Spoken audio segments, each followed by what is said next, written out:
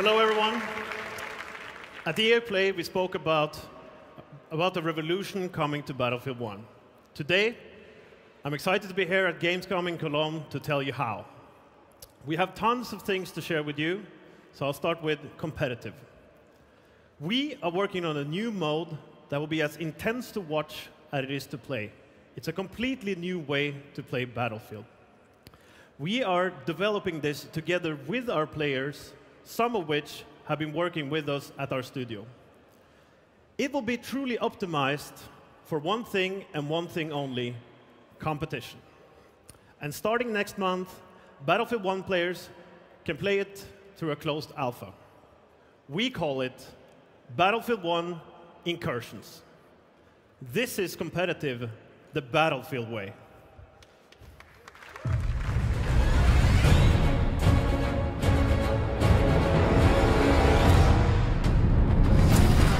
It's super exciting that Battlefield is finally getting a competitive mode. It's been asked for for a really long time. Something DICE has been working on with the community's feedback. Nobody's heard about it until now.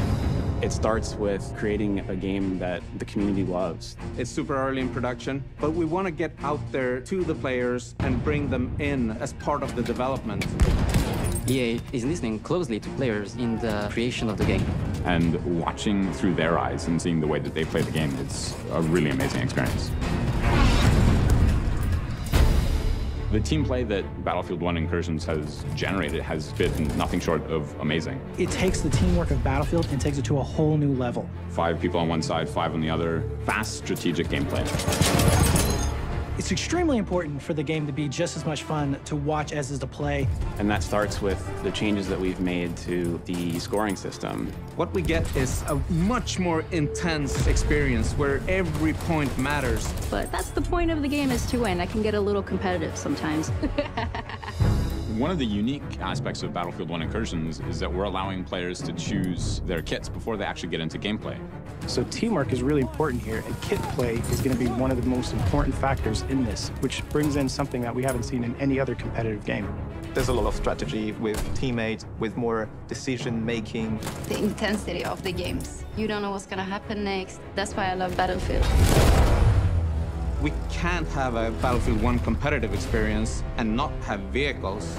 I can tell you what, when they roll around the corner, it is scary. That tank is not easy to take out. Vehicle play can change the outcome of a game. There is no game that has that balance of infantry and vehicle play like Battlefield does. The adrenaline rush, the feeling, it's an immersed environment that you just can't get enough of. It's a lot of fun to play, and you get those Battlefield moments that are just breathtaking. Anyone could have that heroic moment. Anyone could pull off a massive play to turn the game around. And that adrenaline feeling that you get is incredible.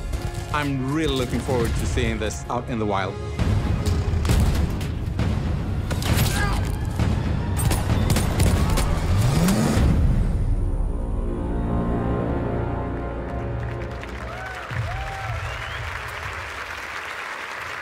Yes, finally. Uh, you can register for a chance to play the closed alpha right now on battlefield.com. Next, get ready for the second expansion pack called In the Name of the Tsar. This is where players get to go to the frozen battlefields of World War I's Eastern Front. It's fast, unique, and coming next month. And for those of you who know a little bit about history, it's also the start of a different chapter, the Russian Revolution. Now, you don't have to wait that long to get a taste. For our premium class players, you can play the first map right now. So, we have more content and more ways to play coming every single month. In September, we have the closed alpha for our new competitive mode. We're also releasing the second expansion with the first map available to play right now. Our third expansion is coming this December, and the fourth is coming early next year.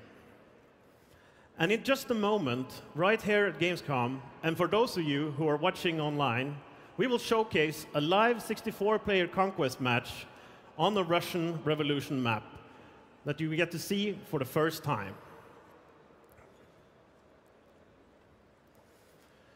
For those of you who have yet to join us on the battlefield, now is the best time to get in. You will get all the content that we have released so far and all the good stuff that we have coming, all in one complete package. Available today, and it's called Battlefield 1 Revolution.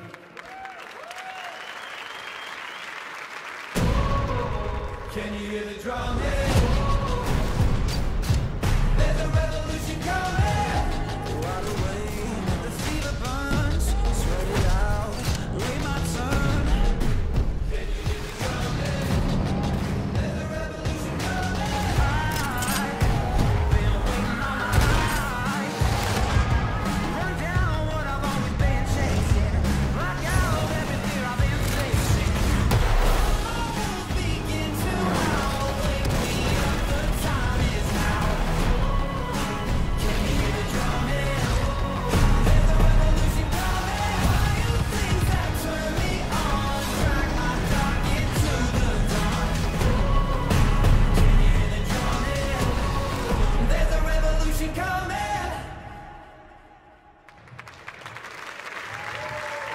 Hi everyone, I'm Andrew Gulotta, producer from uh, from Dice, and uh, I'm here to talk about Battlefield 1. I am so excited to be here. We've been talking a lot about Revolution, and I can't wait to show you guys what we've been working on.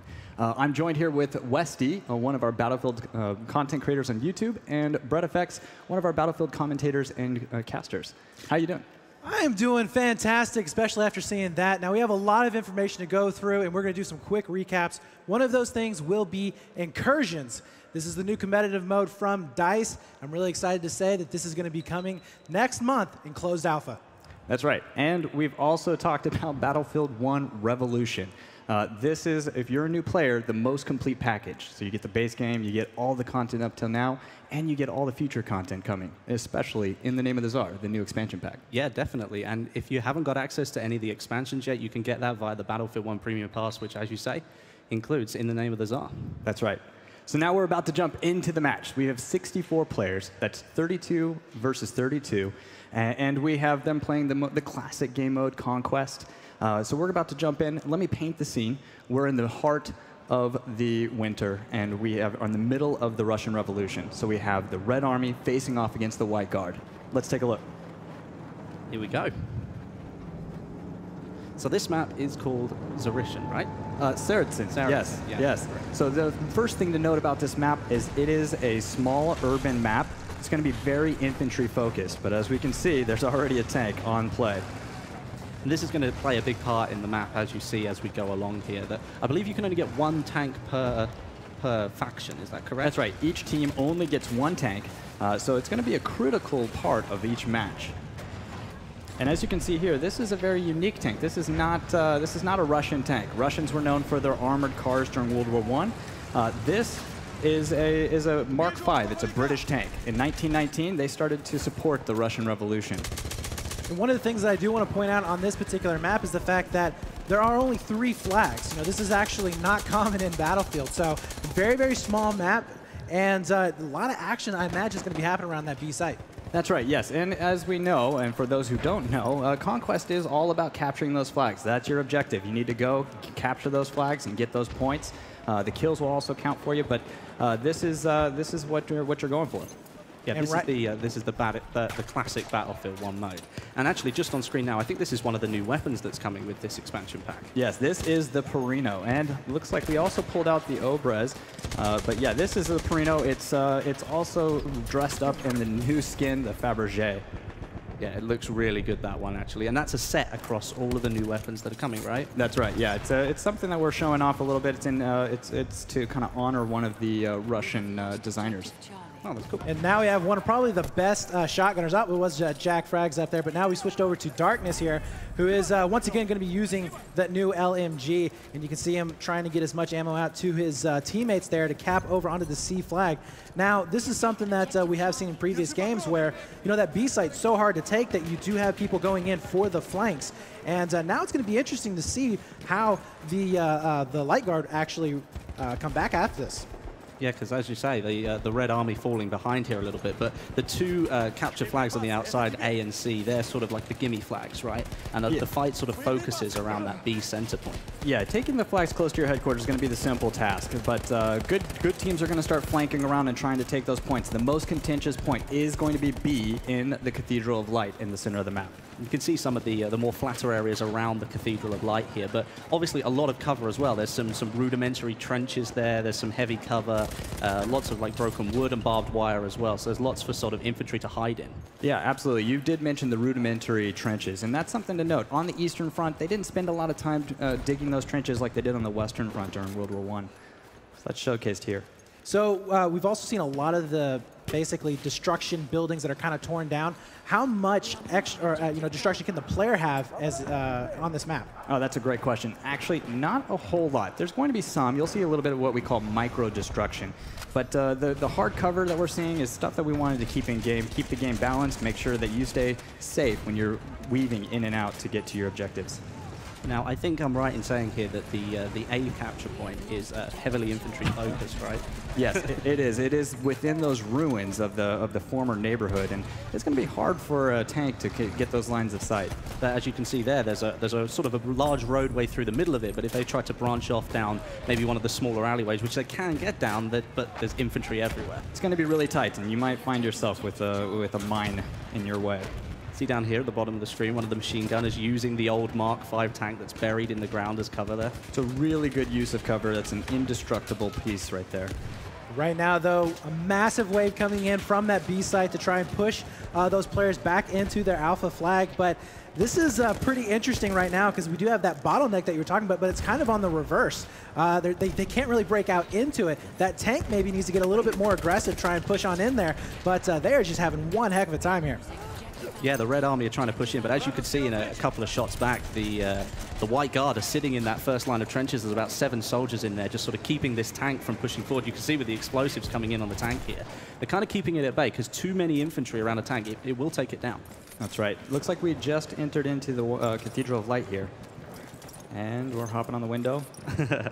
Yeah, but here we can actually see inside, and this is something I think we should talk about because it's actually a beautiful building inside there. Yeah, a lot of work was put into that building. Uh, it's, a, it's a shame that most players are going to be running around quite hectically during in there. Uh, if you have a time to stop and just look, it's, it's really beautiful. Uh, here we are with the, uh, this is the double barrel shotgun. We should, should be able to get a little bit of action with it here. That's right. Um. I'm right in thinking that you can fire both shells at once with this thing if you want to. Yes. That's like a double dose of pain right there. Absolutely, and it's fantastic for taking down the cavalrymen, cavalrymen as well. But uh, right now, oh, we have another new gun right here on screen. This is from the medic class, I believe. That's right. It's the Fedorov Avtomat, and this one is really unique in that it allows you to be able to choose your firing type. So you can go uh, burst or you can go single shot. And we are starting to see right now the score kind of pulling apart. Ooh, nice shot. That was a nice takedown. Yeah, but we can see the White Guard pulling away just a little bit in terms of score here. And as you said, they've they've held the majority of flags, two out of three, for most of the game so far. And the Red uh, the Red Army tank wasn't really pushing too much towards the, the, the B point, the Cathedral. And I think that's going to be uh, something they'll need to do if they want to try and take it back. Because the tank having the presence is going to allow infantry to move up around the outside of it. And right now we can see a pretty big battle happening over here onto that C side of the map. Looks like they are going to be able to defend it for now, but uh, they are getting a lot of pressure on that, that particular point. And uh, for now, looks like they will be able to hold it off. A little bit of push coming in onto the Cathedral, but you can just see how difficult it is, especially without any good tank, which uh, potentially could go down here. But oh, nice shotgun there. As uh, That's going to be Jack Frags. Kind of come out, he does, gets the knife. Beautiful job. That was a nice takedown. That was good. Close quarters with the shotgun. Couldn't quite finish him off. Whipped out the knife. Job done. One thing to note about this map is it is actually a critical point in uh, a critical place. It's in the port of the, the Volga River. So anyone who controlled this point also got to control the, the, the route of supplies. Uh, so this was something that the Red Army really wanted to take and, and control while they were trying to fight their way to, uh, to control Russia. Well, right now they're facing a, uh, a rather big push from the White Guard. As you can see here, we've got some tank action going on, but they seem to be separated at the moment. There's so much infantry action going on in the middle that they don't want to push too much and then lose the tank. Yeah, it's the a vital part of the battle. Tank is really trying to hold on here. Yeah, the Red Army really struggling to get any point. Now almost going to get three capped in. We all know that if you're getting three capped in Conquest, the game could end fairly early. So they really need to, to rally back and get onto that point as quickly as possible. I think they've solidified the A capture point now. Looking at it again, it doesn't appear to be contested right now, so perhaps they sort of settled back down again. But they really do need to make a push for that cathedral if they want to try and claw their way back in. I think that's the that's the key to this win right here. Anyone who controls B is going to have that uh, that victory. See here doing some damage against that enemy tank, all the explosives going on. This is why the infantry can be so dangerous, especially when it's just one tank on its own. Mm. You know, this is the only vehicle that your that your team's going to have. You really need to try and protect it from enemy infantry. Yeah, it is really just a fantastic sight right there looking at it from above. You do have some cavalry trying to come in, maybe do a little bit of harassment there, but this tank is literally just, he doesn't know what to do. He's already pushed all the way back to the out of bounds zone. But uh, we are going to be seeing him slowly but surely kind of inching his way up. He's about half health, so he does need to be careful. But, uh, you know, th this is really interesting, too, because we haven't really seen too much from the other team's tanks. So maybe they've kind of just focused on purely just pushing them in terms of infantry. Oh, here we see an actual battle going on at the cathedral right now. You can see the flag is being contested. Both sets of infantry are in here trying to battle it out. And as much as it looks just like a building on its own, it is a really large building. This is a great shot here. You can see the full scope of the building now. Yeah, it's absolutely insane the, the the size and scope of this building. Not only that, but you do have some vertical gameplay with it because one of the one of the entrances where it's it's crumbled at the side where it's been hit by a shell of some sort, you can actually get up onto sort of the first level of, of buildings around the top there. Yeah, I actually think that's going to be one of the keys to victory too for this point. When, when you can get to high ground, you can control that point. One of the things I do want to point out, though, is that the uh, Red Army is starting to come back. They were capping over there onto that Bravo point. They have about four minutes left, so it is possible for them to come back and try and take this win here. They just need to hold on to these two flags, but a massive fight now happening for the center. And uh, you can see right now the White Guard starting to win that back slowly but surely as uh, the new weapons are being used to quite effect, good effect here. And uh, this is just chaos right here in the middle of the map.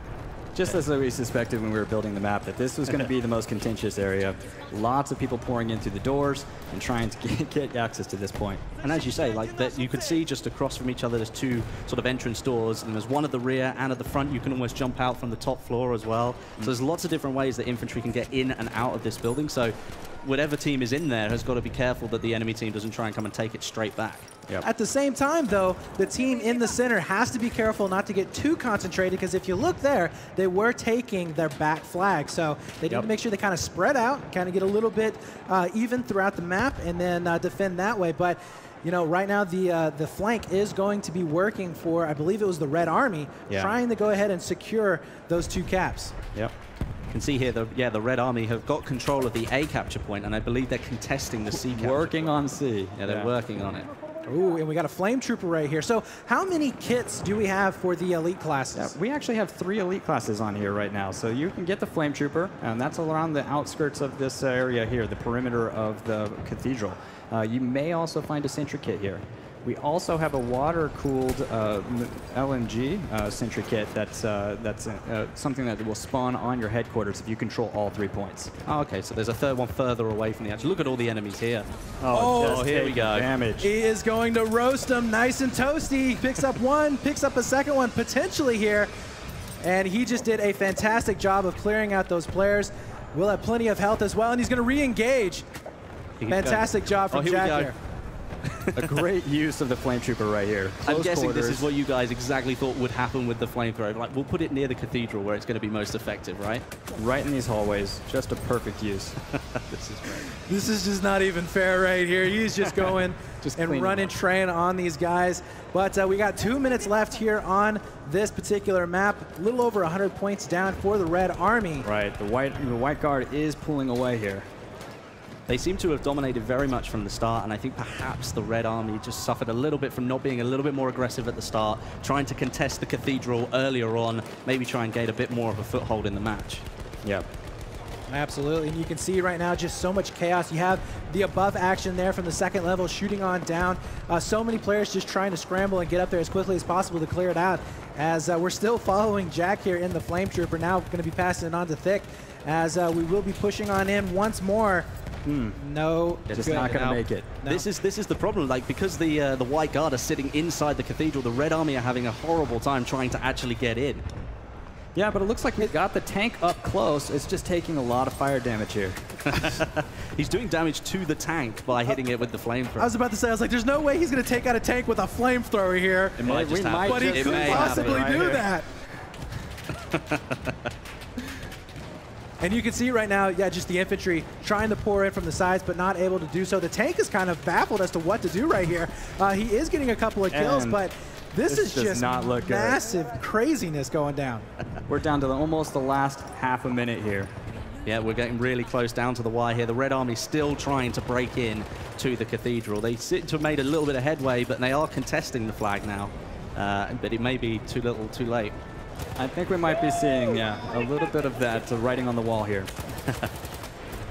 Yeah, absolutely. But uh, we do have a little bit of life left here in these squads. They're going to try and do everything they possibly can. It's all for pride right here and now. Can they get this B side? If they Nine. can just own it. Oh my Just God! Yeah, six seconds left to go before They we are going to be ending it. out here. I think Two that they may seconds. have it. Oh, I don't think they quite got it. And that it is looks like that it. was it. That was a, a victory for the White, White Guard. Guard. The White Guard took that one. But that was that was awesome. Watching the cathedral battle, that was really really good fun, and it just showcases like how powerful infantry can be against vehicles. Absolutely. Yeah, this is just a glimpse of what you get in, in the name of the Tsar. We are super excited to see what the, what the community does with it when it's released in September. Yeah, and I'm very, very excited once again for the Incursions game mode, which is going to be coming out in closed alpha next month. And of course, we have the Battlefield 1 Revolution. That's everything that Battlefield 1 has to offer in one complete package. But that's it from us. Thanks very much for watching the Battlefield 1 segment here at EA Gamescom. Thanks for watching.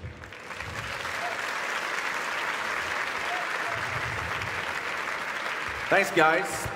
Battlefield 1 in the name of the Tsar is really intense, but also a ton of fun. Now, we hope that you've enjoyed this view into our biggest experiences coming this year. We showed you a lot of gameplay tonight, but of course, there's so much more. For those of you here in Cologne this week, please join us to go hands-on with many of these games. And for those of you around the world, join us online for more content and live streams from EA and our Game Changers creators. Thanks, everyone, and have a great show.